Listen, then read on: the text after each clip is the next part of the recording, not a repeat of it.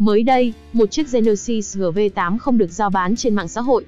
Đây có thể coi là chiếc Genesis GV80 duy nhất được bán lại ở thời điểm hiện tại, giống với lời quảng cáo của người bán. Ở thời điểm ra mắt, Genesis GV80 từng được các chuyên gia nhận định là đối thủ đáng gờm của Mercedes-Benz GLE và BMW X5. Genesis GV80 2020 sở hữu kích thước chiều dài chiều rộng chiều cao lần lượt là 4945, 1975, 1715mm, trục cơ sở đạt 2955mm. Lưới tản nhiệt thiết kế hình kim cương cỡ lớn. Đèn chiếu sáng gồm thiết kế hai dải đèn LED song song. Ở phía sau, cụm đèn hậu có kiểu dáng tương tự như đèn chiếu sáng. Mâm xe 5 chấu đơn với kích thước 22 inch khiến chiếc Genesis GV80 trông mạnh mẽ và dữ dằn hơn. Nội thất của chiếc Genesis GV80 được bọc da Napa và ốp gỗ cao cấp.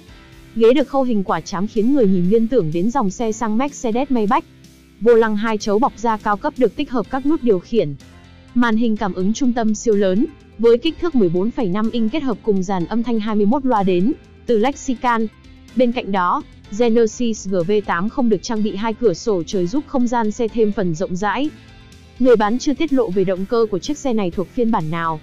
Tại Hàn Quốc, Genesis trang bị cho GV80 động cơ V6 3.0 lít diesel tăng áp 274 mã lực, mô men xoắn cực đại 589 Nm đi kèm hộp số tự động 8 cấp. Tuy nhiên tại các thị trường khác, khách hàng sẽ được tiếp cận một trong hai tùy chọn xăng là 2.5 lít 4 xi lanh tăng áp 300 mã lực, 422 Nm hoặc V6 3.5 lít tăng áp 375 mã lực, 530 Nm. Hệ dẫn động tiêu chuẩn là loại cầu sau. Các trang bị an toàn trên chiếc Genesis GV80 2020 gồm 10 túi khí, hệ thống kiểm soát hành trình thông minh Adaptive Cruise Control, tránh va chạm phía trước sau hay cảnh báo mất tập trung cho tài xế. Với mức giá hơn 3 tỷ đồng khi mua cũ, Genesis GV80 trở thành một chiếc xe đáng cân nhắc cho những vị đại gia thích sở hữu một chiếc xe mang tính thực dụng cao, cùng nhiều công nghệ hiện đại nhưng là khác biệt với số đông.